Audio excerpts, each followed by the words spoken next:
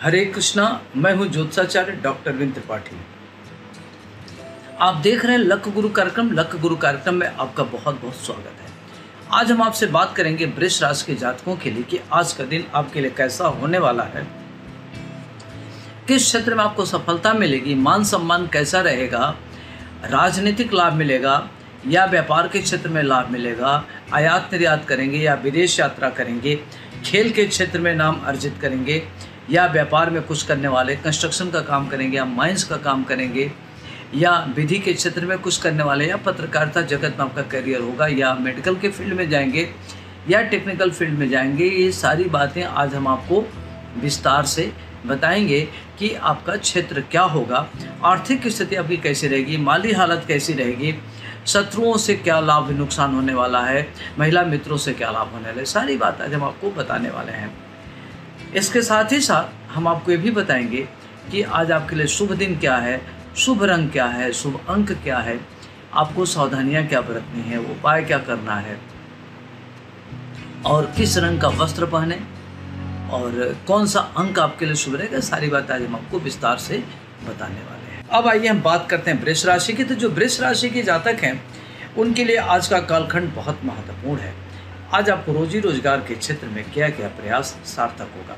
माली हालत आपकी बहुत अच्छी होगी। दूर देश की यात्रा होने से मन आपका प्रफुल्लित रहेगा।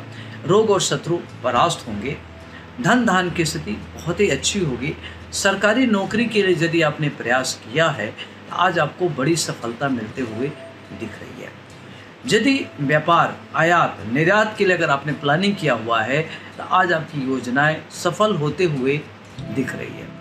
देश विदेश की यात्रा का योग बन रहा है। रुका हुआ धन मिलेगा, पुराने मित्रों के मिलने से मन आपका प्रफुल्लित रहेगा, आर्थिक स्थिति सुदृढ़ होगी, दूर देश की यात्रा का युग बना यदि घर में कोई बुज़ुर्ग व्यक्ति है तो उसके स्वास्थ्य में सुधार होगा।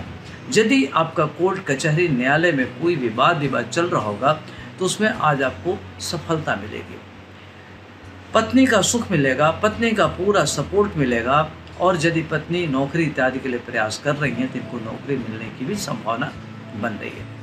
यदि आज आप विदेश में कैरियर बढ़ाना चाहते हैं तो विदेश में कैरियर के लिए आज का दिन आपके लिए काफ़ी महत्वपूर्ण है। यदि खेल के क्षेत्र में आप रुचि रखते हैं तो खेल खिलाड़ियों के लिए आज का दिन काफ़ी अच्छा है।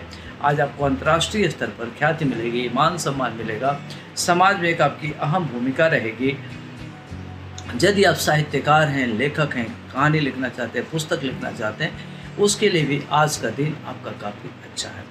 परिवार में अपने भाइयों, बंधुओं से या मित्रों से थोड़ा सा मन मुटाव हो सकता है। आपका मन उद्विग्न हो सकता है। तो अपने को संतुलित और बैलेंस रखने की ज़रूरत है। गुस्से पर कंट्रोल करने की ज़रूरत है। माता पिता का सुख मिलेगा, रोग और शत्रु को हल्के में न लें। संतान सुख मिलेगा, संततियों की प्रगति से मन आपका प्रफुल्लित रहेगा। आज आपको सावधानी क्या बरतनी है? सावधानी ये बरतनी है कि उतावलेपन में, जल्दबाजी में कोई कार्य न करें, नहीं तो कार्य आपका बिगड़ सकता है। खान पान पर नियंत्रण रखें। उपाय क्या करना है? आज आपका मन शांत रहे, उसके लिए आपको ओम सोम सोमाय नमः इस मंत्र का जप करना है और माँ दुर्गा देवी की पूजा करना सिद्धि कुंज का स्त्रोत्र का पाठ करना है ताकि आपकी ग्रह स्थिति खराब हो तो आपके लिए मज़बूत हो। और आज आपके लिए शुभ अंक है, नौ और शुभ रंग है, सफ़ेद। हरे कृष्ण।